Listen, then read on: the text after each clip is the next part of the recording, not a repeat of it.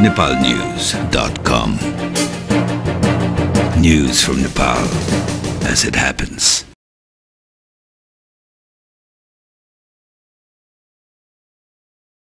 एकीकृत नेकपा माओवादीका अध्यक्ष पुष्पकमल दाहालले अहिलेको राजनीतिक गतिरोधको अन्त्यका लागि बाह्र बुधे सहमतिका सहयात्रीहरू एक ठाउँमा आउनुको विकल्प नभएको बताएका छन्।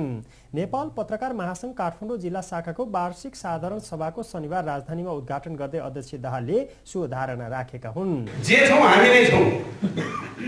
जे गर्नुपर्छ हामीले गर्नुपर्छ र मैले भने कि त्यसको कुरो भनेको बाह्र बुधे समझदारीका सहयात्रीहरू फेरि एक ठाउँमै आउनुपर्छ कुनै विकल्प छैन कि त हामीले भन्नु पर्यो त्यो सहयात्रा जो सुरु गरियो गन्ती गरियो त्यो निष्कर्षमा पुग्नु पर्यो र अर्को बाटो लिनु पर्यो उनले आत्मसमीक्षा गर्दै मुख्य दलहरू एक ठाउँमा आउन नसके प्रतिगामी शक्तिले फाइदा उठाउने दावी समेत गरे।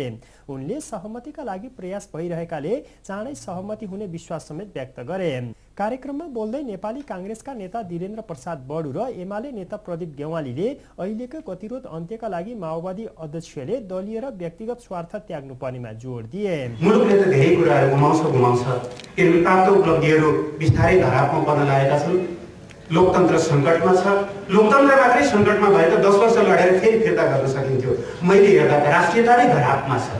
यस्तो अवस्थाभित्र हृदयको विशालताका साथ राष्ट्रिय सहमतिको निम्ति सहमतिको सरकार निर्माणको निम्ति वैशाखमा संविधान हुने कुराको सुनिश्चितताको निम्ति त्यो लचकता त्यो एउटा क्षमता त्यो अलिकति हृदयको विशालता प्रदर्शन गर्नुहोस् भन्ने पनि म आग्रह गर्न चाहन्छु।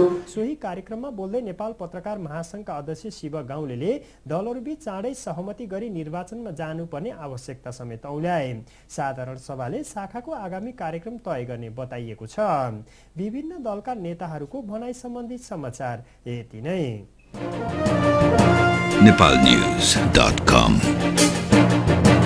News from Nepal as it happens.